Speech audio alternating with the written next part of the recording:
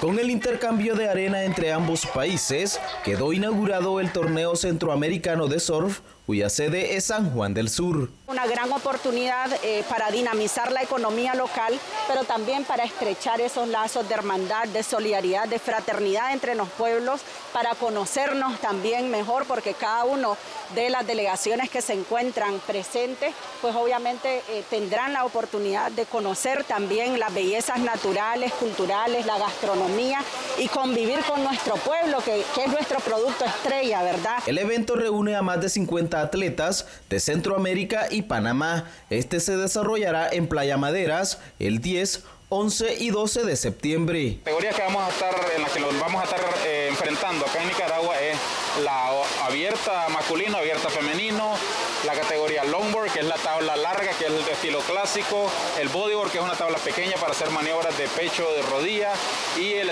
eh, ah, bueno, la categoría junior con tablas pequeñas, los, los niños, ¿verdad? Menos, menores de 18 años. Confiamos a antier y ayer y hoy, y pues la verdad las condiciones están buenas, las olas están buenas, esperamos que mañana sigan buenas y para dar lo mejor de nosotros. Hemos entrenado casi todo el año constantemente, hemos aguantado hambre porque a veces para ser el mejor hay que lucha contra nosotros mismos y venimos con todo para adelante, con fe en Dios. Con este torneo de surf, Nicaragua saluda el bicentenario de la independencia de Centroamérica, además de proyectar aún más los destinos turísticos de la tierra de lagos y volcanes.